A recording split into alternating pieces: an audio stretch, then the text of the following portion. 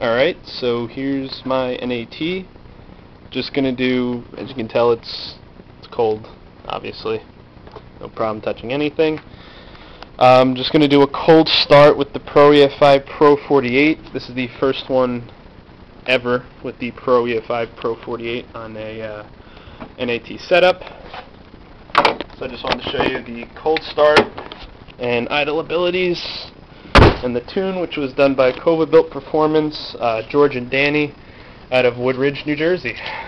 So, car's completely cold. Haven't started it in about two weeks or so, maybe three weeks. I don't know. Normal operation. One turn.